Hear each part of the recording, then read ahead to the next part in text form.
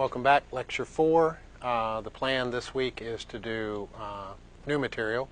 We reviewed last week kind of some sections that may have been covered quickly at the end of 141. Uh, a little bit more with that this morning, but not much, and we'll dive into Chapter 5, Section 9, uh, numerical integration, a couple of techniques, uh, trapezoidal approximation and Simpson's rule. And then we also are covering uh, improper integrals um, this week. Um, there are a couple more problems that I flagged on my final exam for from 141. Um, let's just take a brief look at one of them.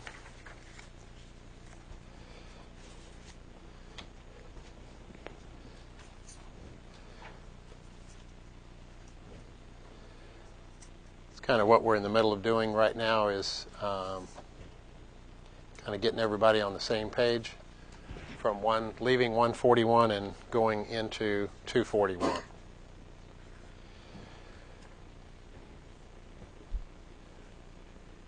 Any suggestions, recommendations, and why would you suggest or recommend that? Divide. Okay. Why would you say that? Because the degree of the numerator is higher than the degree of the denominator. Okay. Ought to be one of the things you check. Um, this is x squared over x. Uh, if it were the reverse, then we might have the, a candidate for natural log, but you're never going to have u over du, so that's not going to get us anywhere. That's what this big bar right there means, is to divide. So because we have x squared over x,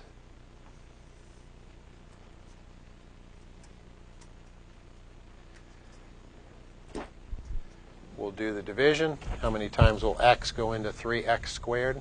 Three X. 3x times 3x times 4 would be 12x. What do we do with that stuff that we bring down? Subtract it. So kind of regular old long division. It's just long division with polynomials. The first term should drop out. That was the intent. Um, minus 5x minus 12 more x. How many times will x go into negative 17x? Negative 17 times. Negative 17 times 4, what is that? Negative 68? That sound right? Again, we subtract what we bring down. So the x's drop out. Kind of made that happen. 2 minus a negative 68 is 2 plus 68, which is 70. What happens to the 70? Over 70 over x. Right. Remainder over divisor.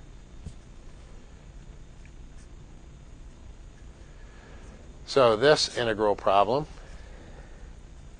we did the division. It should be the same thing as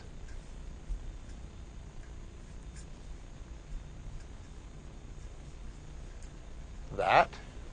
And then now we can integrate each piece, and I think it's relatively basic at this point. What's the integral of 3x with respect to x? Yeah, x squared. Okay, 3 halves x squared. Integral of negative 17 with respect to x. Seventeen X. And then we've got this integral. I don't know that I need to write that down again. No. Got a constant over a linear term. And Seventy. Seventy Good. natural log 70. Natural log, Absolute absolute value x plus 4. Saw that a lot in 141. We're going to continue to see that, so that one ought to be one that works pretty readily for us. Questions on that? Degree of the numerator larger than the degree of the denominator might help, probably will help to do the long division, and then we can integrate it. Um, let's see, from the old exam. We did the table of integrals. Um, that'll probably suffice. Anybody stumble across a problem from trig substitution, trig integrals, um, partial fractions decomposition, or table of integrals that you want to make sure you clear up before we go ahead? Yes, sir. It So number ten on WebAssign, I think five point eight or something, five point seven maybe, and it was one over x minus root x plus two. Minus here? Minus, minus root x plus two. I think I remember that one vaguely.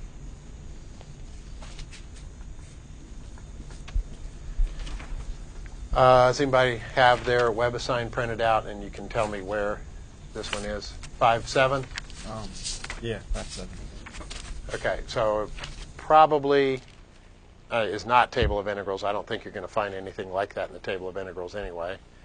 Uh, so we've got um, trig substitution, possibly. It's not a trig integral, that's for sure. Um, maybe partial fractions after a substitution. Uh, anybody? I think I know what I want to try. Anybody want to make a recommendation that you think has a chance to, of working? The way I did it, I used u substitution. Okay, that I think will get us started. What did you? I did it. I did. Um, I did u equals the square root of x plus two, and then changed that to be u squared minus two equals x. Okay, I think that'll that'll work. Uh, this seems to be kind of the the stubborn term in this integrand, and the fact it's not the x plus two that's the bad part. It's the square root of that quantity x plus two. So let's see if we can get rid of the radical altogether. So if we let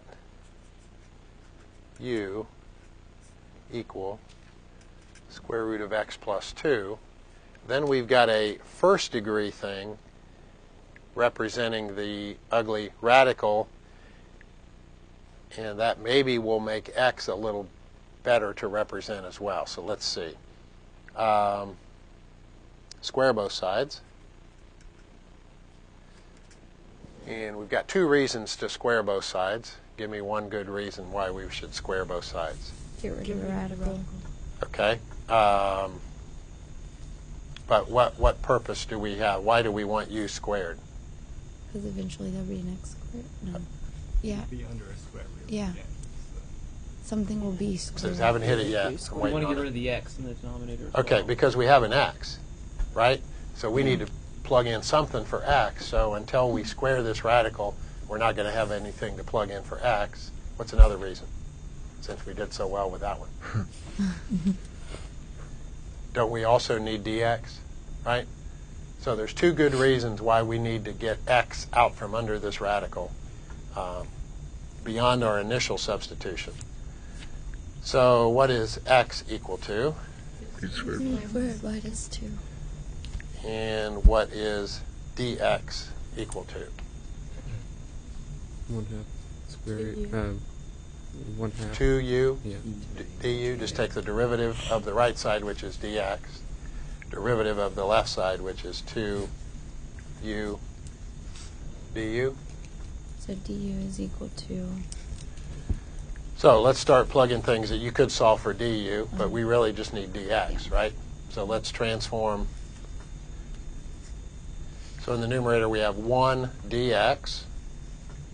So dx is 2u du. In the denominator we have x. There's x. And also we have minus square root of x plus 2, that quantity, so that's really what? Minus u?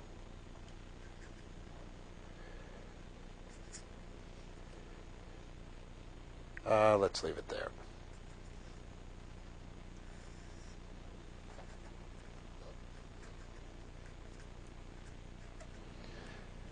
Does, is that any better? I'm not saying it's kind of in a form where we can integrate it, but is it better than what we started with? Possibly. If we can now deal with this, how do you think we might want to deal with this? Partial fraction. Partial fractions.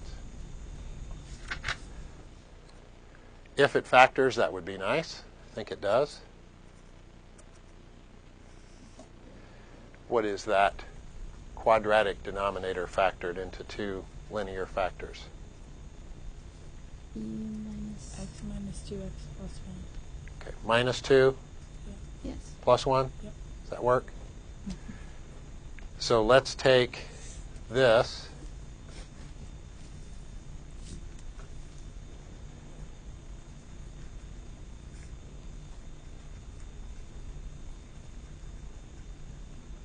Decompose it into partial fractions. I'm going to kind of, this is all a jump start on this problem, so we're still jump starting. And we'll get to a point where I want you to take it over. How does that break down into partial fractions? A over u minus 2. Plus b over u plus 1. Okay, thank you. And what would be the procedure from here? Set the numerator equal to each. Oh, no. Common. Common Get a common denominator, which is going to be the product of those two linear terms. After you get a common denominator, equate the numerators, Mhm. right? Mhm. Solve for a and b. Mhm. And then. Isn't this going to be a natural log, Yes. right?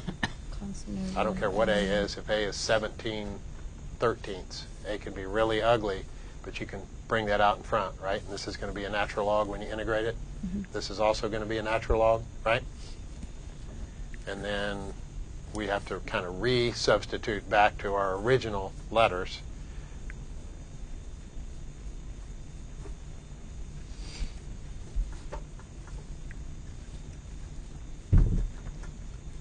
Okay, now the denominators are equal. Equate the numerators, solve for a and b. Once you get the solution for a and b, the integration should be pretty quick. And then substitute back wherever you see a u in your answer, you should have a square root of x plus 2. So since that's a web assigned problem, we'll just kind of talk through the end of it, and I'll leave that up to you. Is that all right? Is that at a place where you can take it? I have a question. Yes. Um, if there's no, like when you uh, combine the numerator with the other denominator thing at the top, if there's no um, single term like for the a and the 2b, is it equal to zero? Like you're gonna do a plus 2b equals something and a plus b equals 2 for the u term. That's right. The other So one's equal to zero that's right. Okay. So this is really 2u plus zero. plus 0. Okay. So this is the linear term. The constant term isn't there, so it's 0. Okay. Anything else from that one? Which still helps the cause. You're still going to get an equation. I don't know what that equation is. Let's see if we can figure it out. It's going to be a minus 2b, right, Yeah. is equal to 0. So you still get an equation. It's not like you don't get any information. It's just equal to 0. It kind of helps, really, because then you can use that to substitute in the other one. Anything else from this preliminary information that should be, for the most part, reviewed? Or another WebAssign?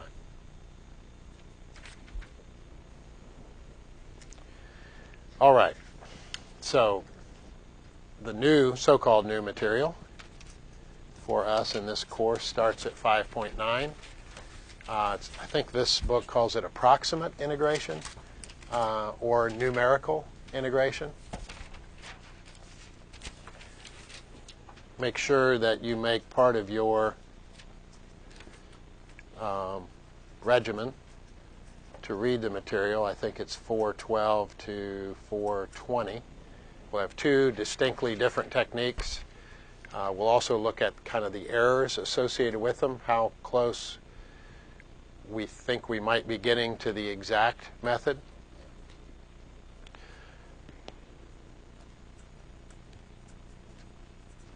So numerical or approximate integration.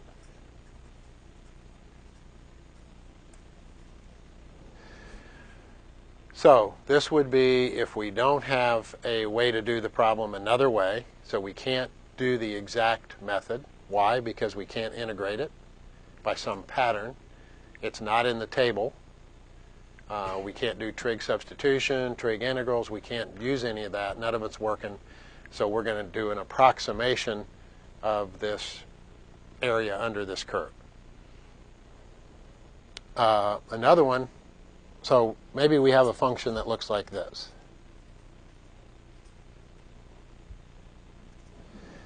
And we want to find the area under that curve. So we've got this, not too bad, e to the 1 over x We're not going to be able to integrate integrate that by substitution, trig integrals. Why wouldn't substitution work?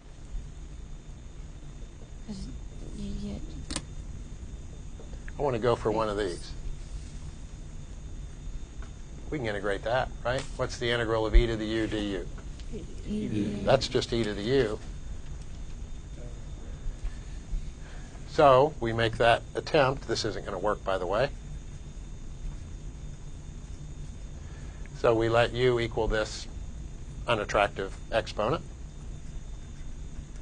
That seems to be working real smoothly. Here's where it falls apart. What's du? natural. Derivative, not integral. Oh. What's the derivative of x to the negative first? One over x. Negative. Negative one to x. the negative two. Negative 1, x to the negative second. So that's the derivative. We don't have any of that, do we? We can't manufacture that. We can't change the integrand in terms of variables. We can't change the curve that we're trying to take the area under. That so because we don't have any of that, we can't manufacture it. This method is not going to get us anywhere. We we don't have a method to do that. So that's why we're going to need some way to approximate the area under this curve. If we needed to be really, really accurate, we could use 100,000 subdivisions. Uh, we couldn't. We're not going to do that manually, but we could to do it on a machine or a calculator or computer uh, so that we could get really, really close to the area under this curve from 1 to 2. So we can't integrate it, or we don't have a function at all. All we have is a data set. So we know what where the um, y value is when x is 0. We know where it is when x is 0.5. We know where it is when x is 1, when x is 1.5, and so on. So we have a data set. In fact, we don't even know if these dots are connect how these dots are connected. Is it connected like this? Or is it connected like this? Or is it a straight line? We don't even have the curve. We don't even know the function. So here we at least know the function. Here we don't know the function at all. We just have some data points. So we want to, let's say this is a velocity curve, and we want to find a distance or height or position from it. Let's say distance. What do we do to velocity in order to get distance? Integrate it. So we want to integrate it, but we don't even have a function. We just have a set of data.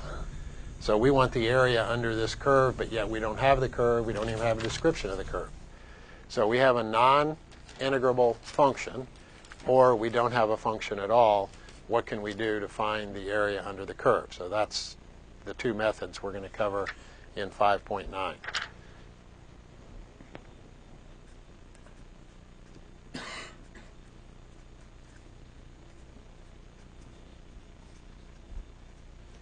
So the first method, and you'll probably remember something from um, high school geometry that'll be helpful here. That is the area of a trapezoid. That'll be helpful to us. so this is trapezoidal approximation.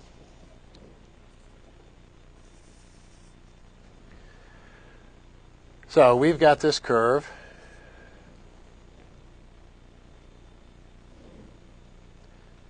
I'm going to call that our starting point, x sub 0.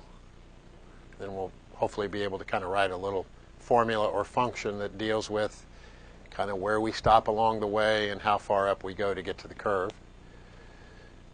So this distance from the x-axis up to the point on the curve, so some arbitrary curve, f of x, this would be the f of x0, right? This distance from here to here. Let's go to our next place,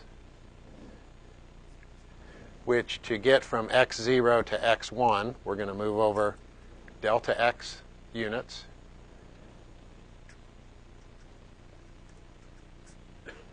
And we'll decide on delta x by taking where we com- end completely minus where we started and divide it by n, however many of these things we want. So x sub 1 is really x sub 0 plus 1 delta x. x sub 2 is going to be x sub 0 plus 2 delta x's, and so on. So we're going to add a delta x each time we go over to a new x value. So we're going to use a trapezoid to find the area of this region. It's not exactly what we want because it's not a straight line from here to here. It's actually a curve, right? But the straight line will, depending on how many of these we actually construct, somewhat imitate what's going on as we go from this point to this point. So here's our trapezoid. Normally we see trapezoids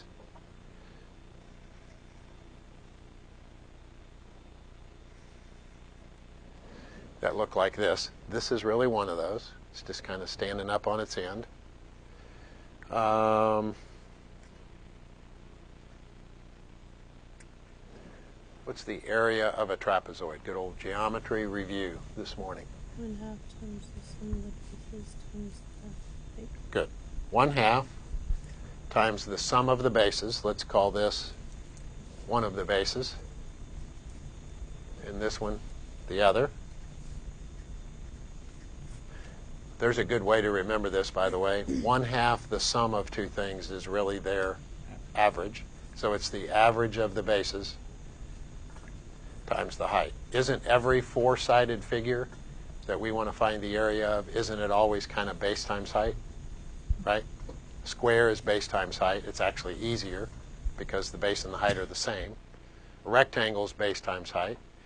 Here's a trapezoid, its base. Well, how do you choose which base? We've got two of them. Ah, let's just average them, right?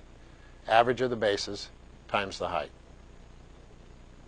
So here's our height. Well, let's translate that to this shaded region up here. What would that look like? X. Um, What's base 1? Well, here's base 1. How would you find that? Good. f of x 0. oh, And here's base 2, Yeah, f of x 1. times delta x. And our h is this distance from here to here, Delta X. which is delta x. That work? So for that single trapezoidal region, then we would translate our old geometry formula into what applies on this particular diagram. Now we're going to go to the next one. We're going to go over delta x more, over to x2. We're going to connect this dot to this dot with a straight line. I know it's not exactly the curve, but remember this is approximate integration. You probably want to be a whole lot smaller than I'm being here. Uh, wouldn't that make the process better? Right? Just like we did with skinny little rectangles and area under curve. The more you had, the more accurate it is. Same thing here. So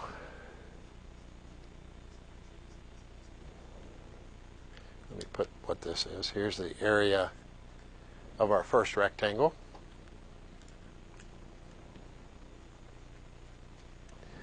Let's figure out the second, no, it's not a rectangle, sorry, it's trapezoid. Our second trapezoid would be 1 half. Well, here's our initial base, right?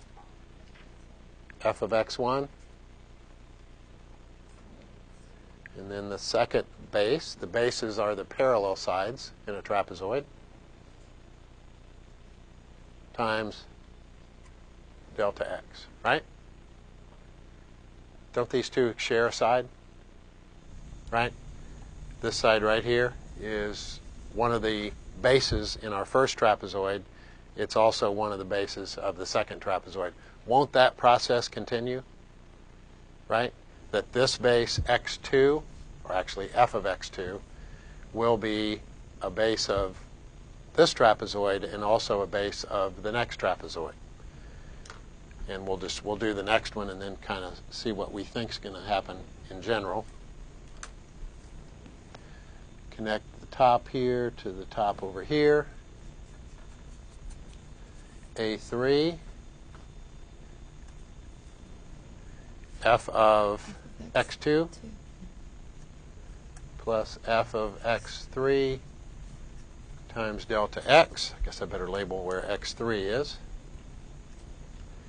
And the duration of the subinterval, we want to do this same thing till we get to x sub n, which happens to be our last value, which is the same as b. So x0 is the same as a from this diagram. So what's that going to look like? So the area under the curve, and this is approximation,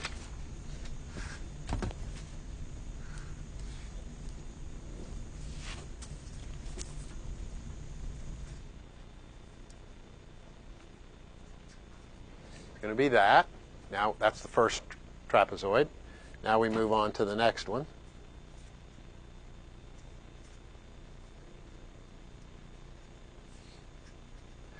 Now we move on to the next one.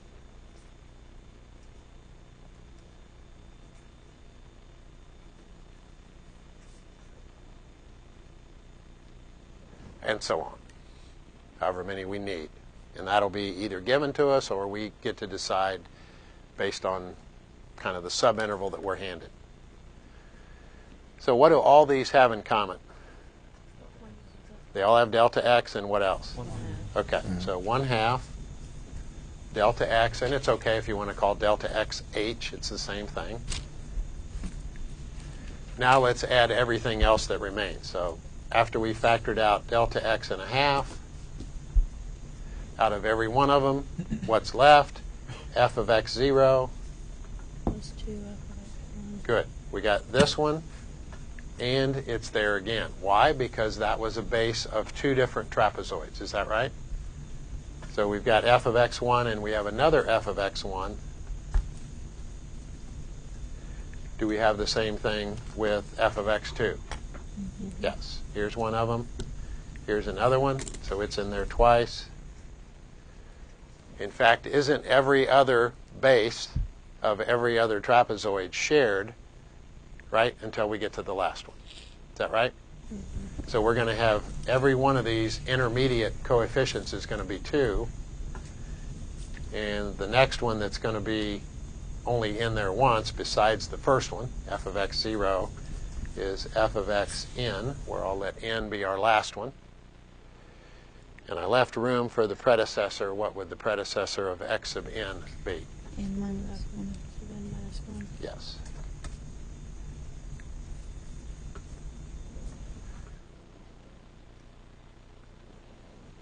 So there's our trapezoidal rule for approximating the area under a curve.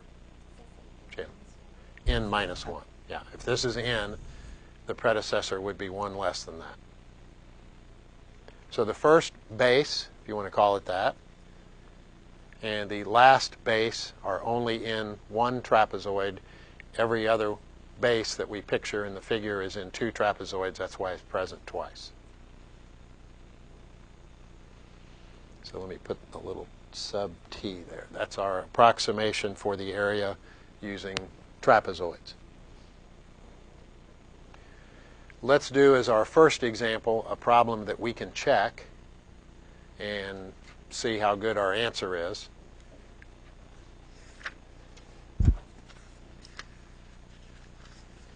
Because we have an exact way to do the problem.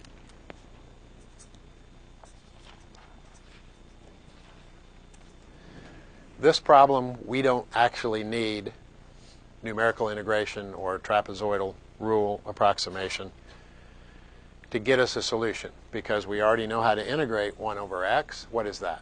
One over natural log. Natural log absolute value of x. We don't need the absolute value in this problem because everything is positive, but it might come into play in another problem. So natural log 2 minus natural log 1, and this is exact, by the way. Natural log 2, I don't know what that is, but I do know what natural log of 1 is. 0, right? That's the power you'd raise e to get 1. You'd raise e to the 0 to get 1.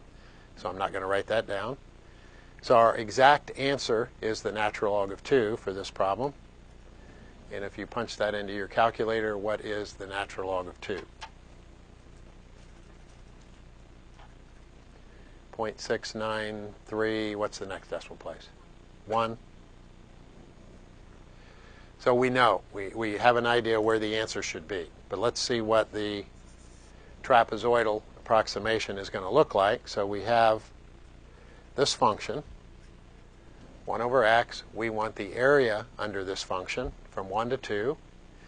Let's um, use 4. To get a higher level of accuracy, we could use more trapezoids. Gets a little ridiculous with uh, kind of manual computation. So let's use 4. And A is 1. We're starting at 1. And we're ending at 2. So our delta x is what? One fourth. B minus A over N. 2 minus 1 over N. N is 4. 1 fourth.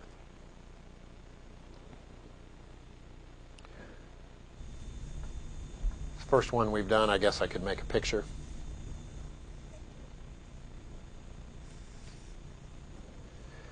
So y equals 1 over x. Looks something like this. Let's say this is 1. Be nice to make it a 1 instead of a 2. And here's 2. So we're breaking this thing up into four subintervals. We know what delta x is. We're going to crawl along a quarter of a unit at a time. That's a pretty good way to get from 1 to 2 when we have four subintervals, right? So our x sub 0 is going to be 1. x sub 1 is going to be Two. 1.25, 5 fourths. x sub 2, 1.5, 3 halves. x3, 1.75.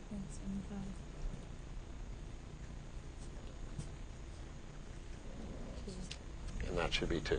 So we should have advanced delta x, or 1 quarter of a unit, getting from x1 to x2, x2 to x3, and so on. So I think we have everything we need.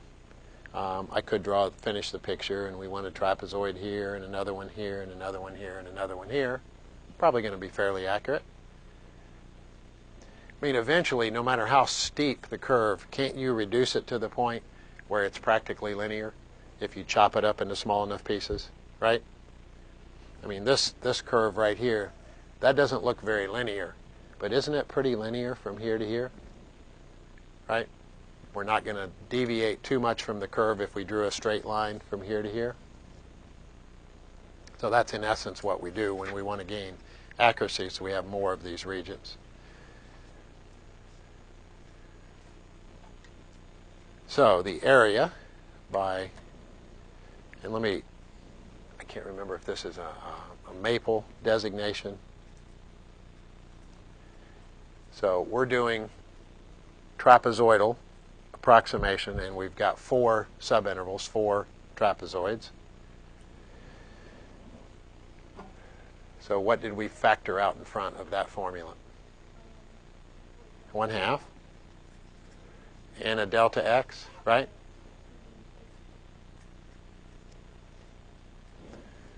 So there's half h or half delta x. f of x0 should be f of 1. 2, f of 1.25 or 5 fourths. Aren't all these intermediate coefficients too, right? f of 3 halves, f of 7 fourths, and now we're at the last one. That technically is only in one trapezoid, the same as this one is only in one trapezoid. f of 2. So we've got a 1 eighth. So f of 1, what's our f of x?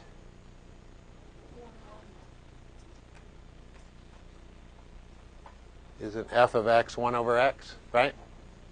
So it's 1 over 1.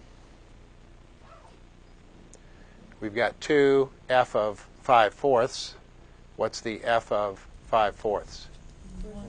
4 fifths? Is that right? 1 over 5 fourths?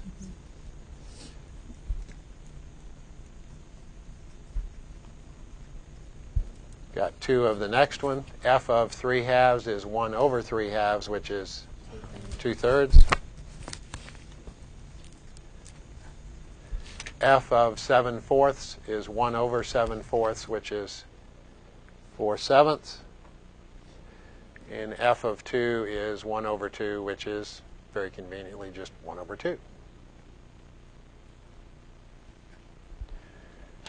So we can integrate it. We did that on this problem. We wouldn't have to do numerical or trapezoidal approximation, but we're just kind of making this seem believable on this example.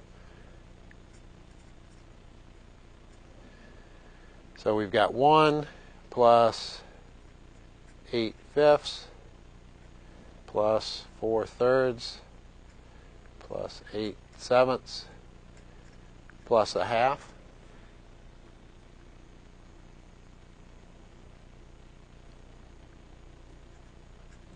It's approximation anyway, so let's not kill ourselves with like denominators. Let's use our calculator to add these up. Divide by 8 and we better get something fairly close to 0.693. I think it's 0.697. Is that right? To the third decimal place? That's pretty good.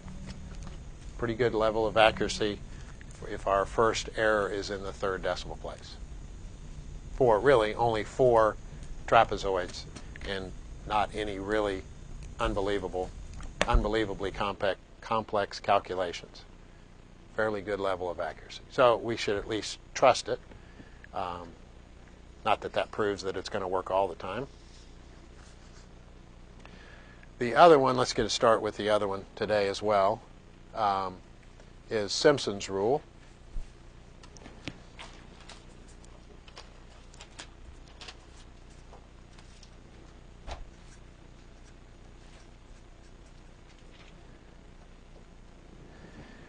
And instead of drawing a straight line, so here's, here's kind of the basic difference between, here's trapezoid. We take this dot and this dot and connect them with a straight line, okay?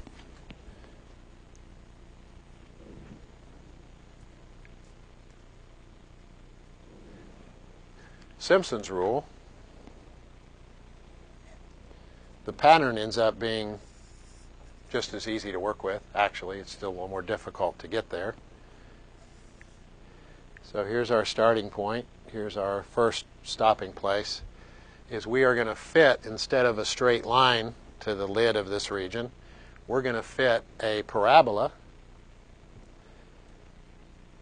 that connects this dot to this dot. Now, there's a better chance of being able to match this region with a an actual curve than it is with a straight line. That's probably not a straight line from here to here. It's probably curved. So we'll take an arbitrary parabola and granted it's probably not parabolic, but we can match it with a parabola as we go from here to here. Now the procedure's actually subtly different from that because to get a better fit, we're actually going to have to not only take the kind of the first point and the last point, we're also going to have to take a point that's in the middle. That allows us to to fit the parabola a little better to this region. I mean, if we just use the first and last point, there's a whole lot of parabolas that catch the first point and the last point. So we're going to do a much better job if we force that parabola to catch the point that's in the middle as well. So it'll look like our regions are kind of twice as large with the same amount of subdivisions, but we're kind of forcing this thing to catch the point in the middle as well. So we're going to use some arbitrary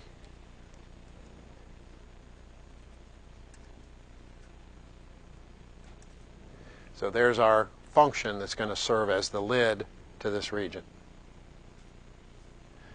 The problem is we don't know A, we don't know B, and we don't know C to make it fit to that region, and it might change as we go from one region to the next region. Because the curves change, one could be concave down, it could change to concave up, and we want to match it with a different kind of parab- or different kind of uh, parabola. So some of this is in your book. I actually got most of this from another text. Here's what we want to do with Simpson's rule. So we've got this region. We want it to catch this point, this point, and this point. So we want to find an arbitrary parabola that's going to do that. Some y equals ax squared plus bx plus c. Notice we are catching the point in the middle, and this distance from the initial point to this point in the middle that we want to force the parabola to capture is still going to be h. So that's in essence what we're doing. We want the top to be parabolic. Um, we will need not only the x values where we're stopping along the way, x sub 0, y sub 0, we'll get that on the next sheet. Uh, what is y sub 0? It is going to be the f of x sub 0. We're going to need x sub 1, that's easy. y sub 1 is going to be the f of kind of how we got there, x sub 0 plus h. So here's x sub 0.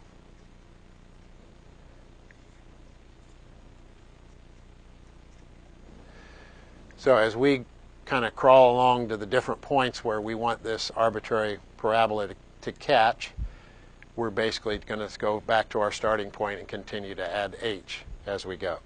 So y sub 2 is really f of x sub 0 plus 2h. So for this region,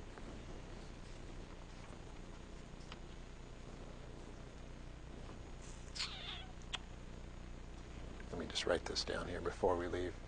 Here's what we really want to get the area of this region. We want the area under this arbitrary parabola. There's our parabola.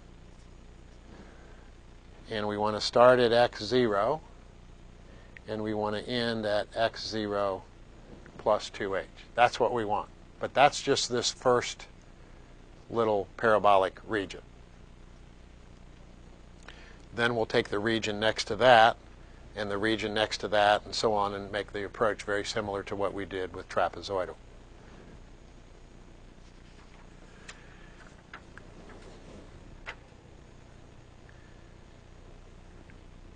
So you don't need to write all of this down, but um, there are parts of it. So we have these three points that are on the top of the region we're dealing with. We have our arbitrary parabola. X1, how do we get from x0 to x1? We add h. How do we get from x1, actually from x0 to x2? We start with x0 and add h twice this is kind of a mystery right now. Where in the world did that come from? Um, that happens to be the area of this parabolic region.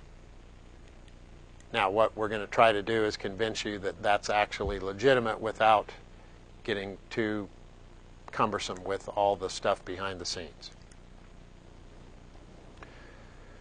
So this is what we want the area of the parabolic region to be that will really be important. How we get there is relatively important, but not.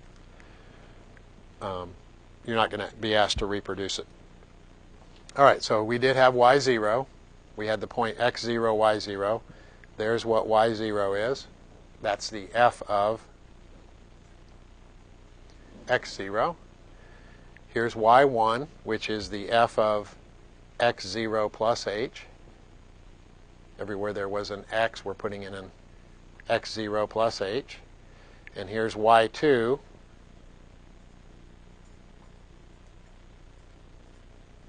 which is the f of x0 plus 2h. So wherever there's an x, we're going to plug in x0 plus 2h.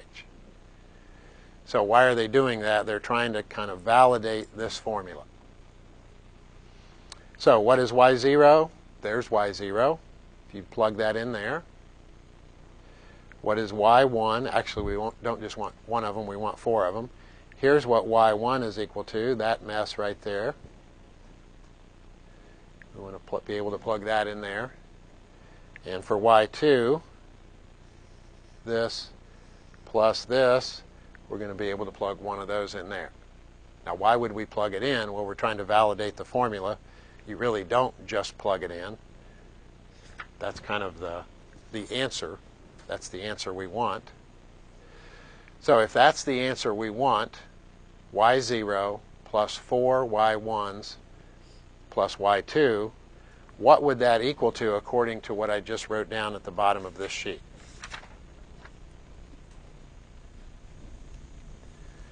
So I want this. I want four of these. And I want one of these. What would that look like? Well, it would look like this, grouping together all the like terms. That's kind of what we hope we get when we're done with this problem. Here's the problem that I wrote up on the picture earlier. That's what we want. We want the area under this parabolic region from x0 to x0 plus 2h. That's what we want. We know how to do that. We integrate. That'd be a x cubed over 3, b x squared over 2, and cx. We know how to evaluate x0 to x0 plus 2h. So we do that. How do we do that? We plug this in and we subtract the other one from it. There was an error in this um, place where I found this, but if you do that, you cube that, you square that, you distribute everything, and you get rid of like terms, grab together as many terms as you can, you end up with this. That's kind of a mess. That's in terms of A, which we don't know, B, which we don't know, and C, which we don't know. Those are the coefficients on that arbitrary parabola. Notice there's an h over 3 out in front. Isn't that what we were gearing for? Didn't we want to have an h over 3 out in front? We did. It's there. What we really would like to have is y0 plus 4y1s plus y2. Believe it or not, we have that too. So all this stuff from here to here, somebody discovered this a whole lot smarter than I am. Okay? Probably somebody named Simpson, and probably not OJ. Um, um, he discovered, or she discovered, might be a she, that all this stuff inside the brackets is really what? It's really y0 plus 4y1s plus y2. So that's the area of this one parabolic region. Isn't that exciting?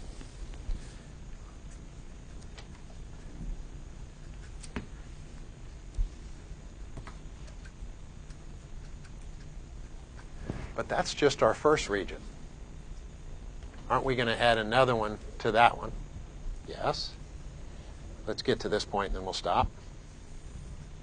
So we've got this curve. We can't integrate it. We're going to have to use a numerical method. So there's our first parabolic region. Remembering we're going to try to capture that point that's in the middle.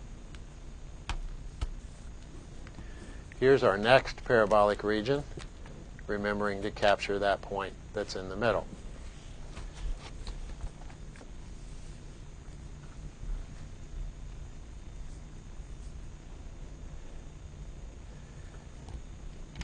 So for our first region, it's going to be h, which h is going to be delta x. So h over 3 becomes 1 third delta x. y0 is f of x0.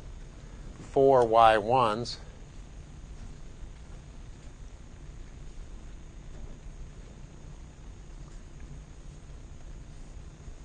There's our first region. Okay? And we are out of time. We'll pick right back up from that point, try to add in the next region, see what the pattern is, and see that Simpson's rule is probably just as easy as trapezoidal rule. If you came in late, come and see me. I'll change what I have as a absence to a tardy.